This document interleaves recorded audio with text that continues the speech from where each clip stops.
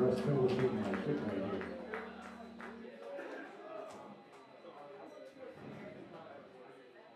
That was the sad part. That was when I lost the game.